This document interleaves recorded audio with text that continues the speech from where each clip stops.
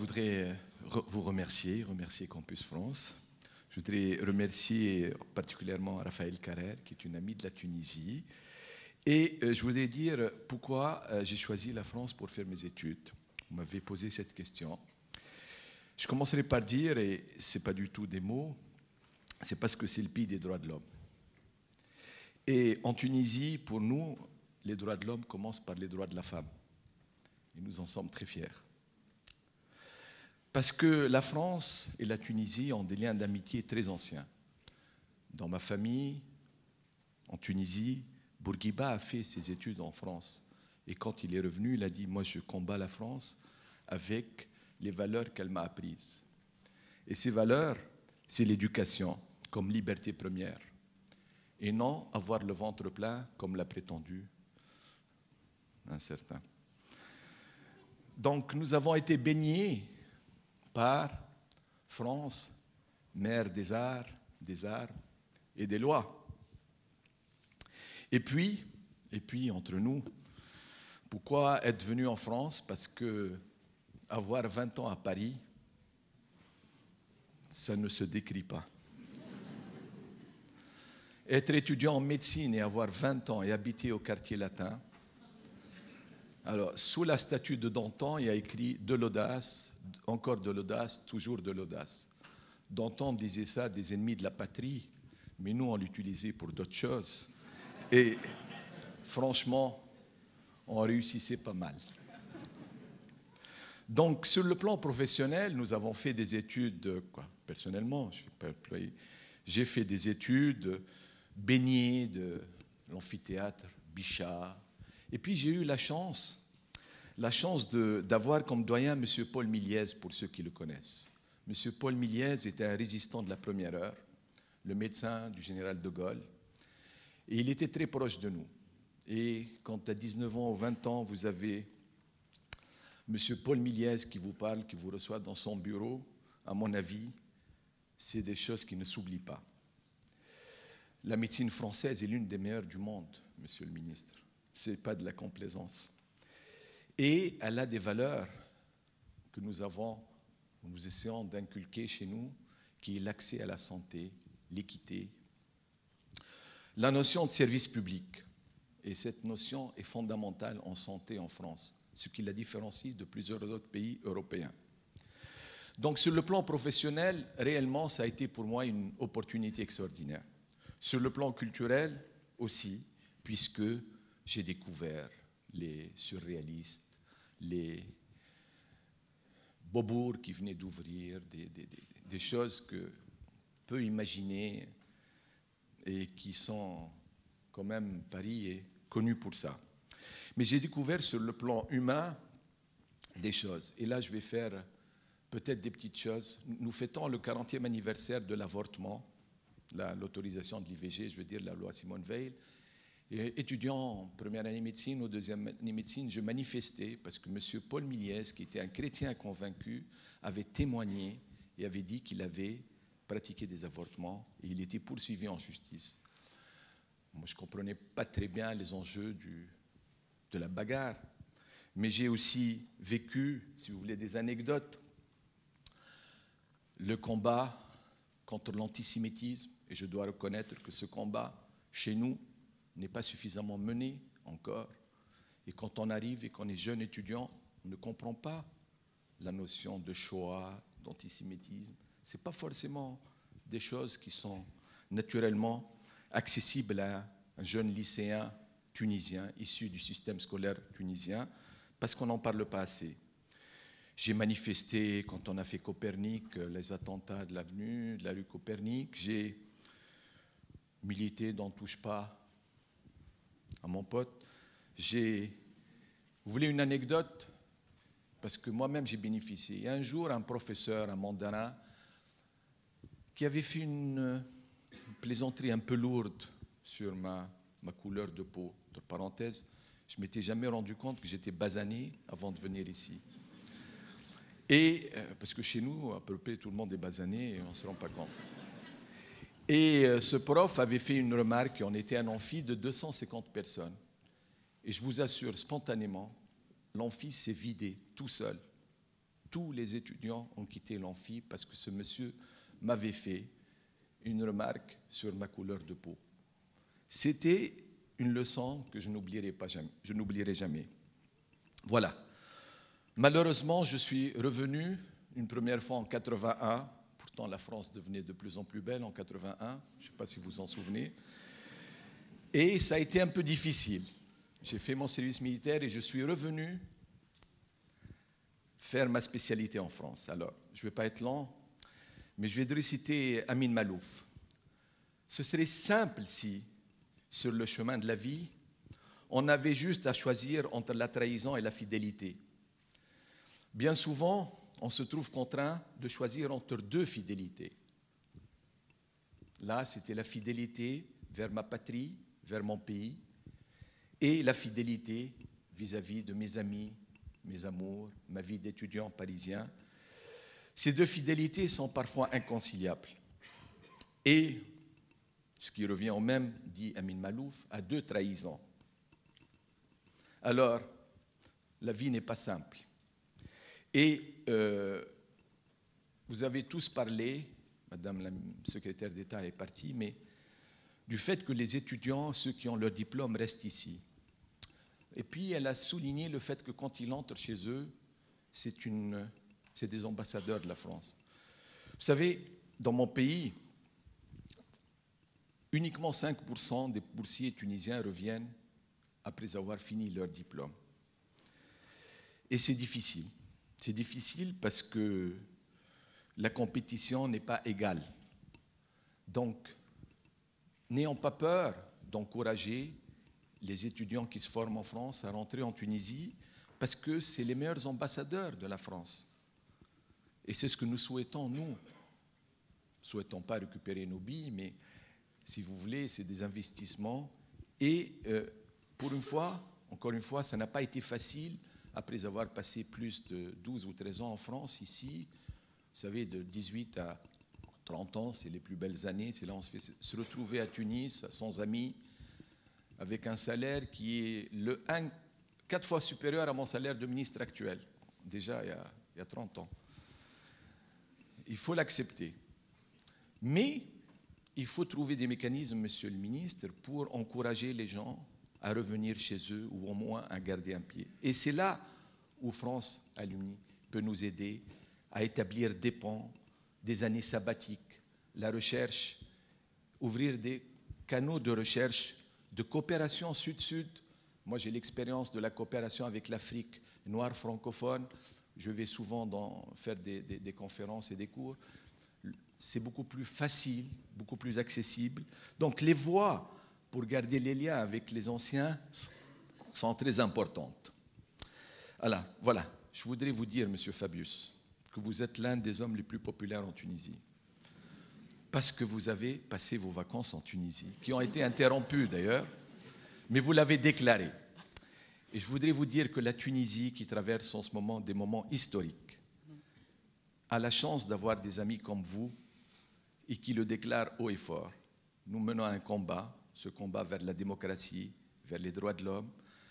Nous ne l'avons pas gagné, mais grâce à des amis comme vous, nous le gagnerons. Donc je vous demande de venir tous passer vos vacances en Tunisie. Voilà, merci.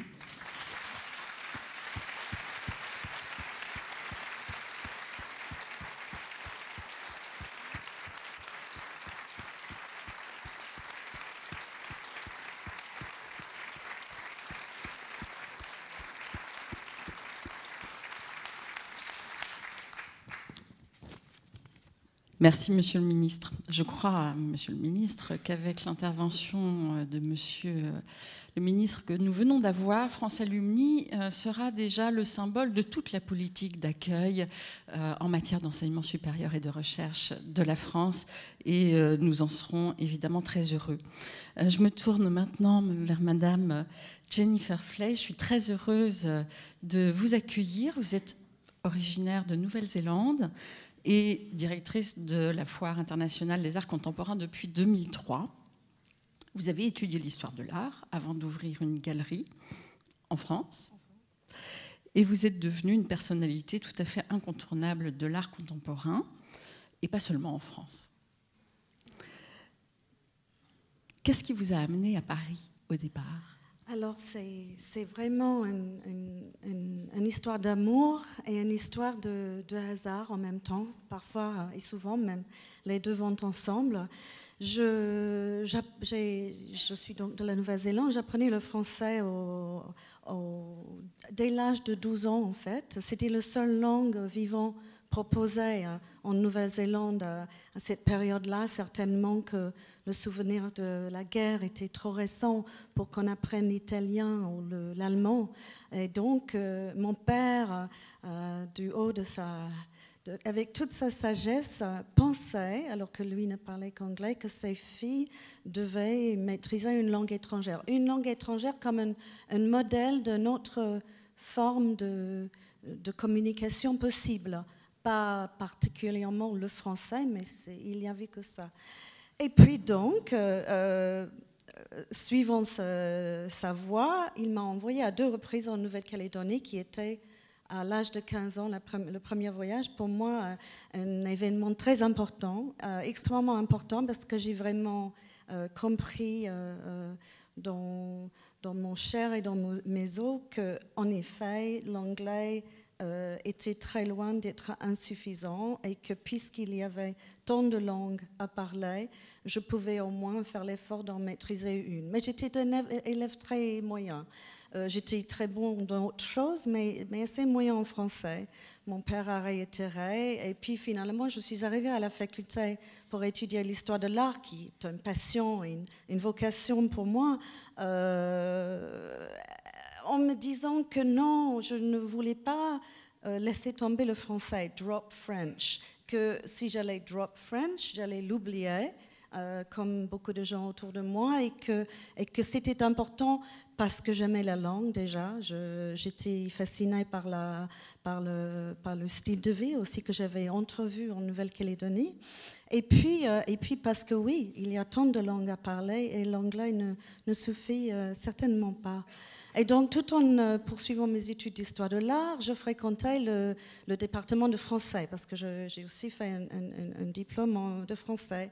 Et un jour, j'ai vu sur le notice board, sur l'affichage, bourse du gouvernement français, toute discipline. Et je me suis dit, c'est moi, c'est moi. Et en plus, euh, étudier l'histoire de l'art en France, mais quel rêve, quel rêve. C'était toute ma vie qui euh, prenait un sens tout d'un coup. Je ne voyais pas les difficultés. Hein. Les difficultés sont assez assez important. Hein. La Nouvelle-Zélande est très très loin, c'est aux antipodes. Euh, il n'y avait pas de portable à l'époque. On ne pouvait pas. Enfin, je devais attendre parfois une journée entière pour parler. Avec ma, une journée entière, une semaine entière pour parler à ma famille. Il y avait, des, inconvénients, mais, pour moi surtout une, la possibilité de me réaliser celle, euh, que je désirais être, en tout cas la française en moi, puisqu'il y en a une, et la moitié maintenant, parce que je suis euh, naturalisée, euh, je suis franco-néo-zélandaise, et j'ai essayé, euh, dans mon, suite à mes études, qui ont été très importantes parce que j'avais étudié l'histoire de l'art euh, de manière classique, analyse stylistique, critique, historique, etc. Et je suis arrivée en France dans un centre pluridisciplinaire dirigé par un grand professeur, Michel Senuyet, qui était lui un littéraire, en fait, ouvert, très ouvert sur les sciences de la communication. J'ai découvert la sociologie de l'art, euh, Franck Estel, Raymond Moulin, Abraham Jean Baudrillard, Bourdieu, toutes ces, toutes euh, qui, est une fois maintenant euh, considéré euh, comme étant très très important dans le monde. Alors je sais que mon père ne s'attendait pas à un si grand retour sur investissement parce que il voulait pas il voulait pas me perdre en fait, mais j'espère en tout cas que la France considère que sans retour sur investissement en ma personne, puisque j'aime la France et j'ai étudié ici, j'ai décidé de faire ma vie ici à défendre la scène culturelle française. J'espère que la France considère que le retour sur investissement est euh, suffisant. Voilà.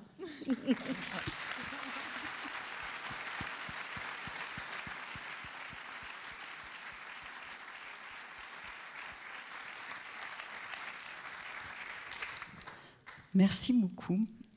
France Alumni est le lieu où se retrouveront les amoureux de la France, mais pas seulement. Et euh, je me tourne vers Jeanne Parks, non pas que je doute que vous aimiez la France, mais parce que, en tant que directeur général d'Ubisoft France, qui est l'un des leaders mondiaux euh, du jeu vidéo, en tant que Britannique, vous avez fait vos études au Royaume-Uni et en France, et tout au long de votre parcours entre la France et le Royaume-Uni, après des études à, HEC, vous avez été sous ces deux influences, et je voudrais vous demander euh, au fond, qu'est-ce que vous attendez de France Alumni? Tout d'abord, Monsieur le Ministre, Monsieur le Ministre, la Présidente, merci euh, beaucoup pour l'invitation ce soir. C'est vrai que c'est un, plaisir d'être parmi vous et je trouve que le projet euh, est extrêmement excitant, comme disent les Anglais. C'est vraiment quelque chose qui s'inscrit dans les mœurs d'aujourd'hui. C'est vrai que quand j'ai fait mes études, que ce soit en Angleterre ou en, France, on n'était pas dans la révolution digitale, encore moins dans l'ère des réseaux sociaux.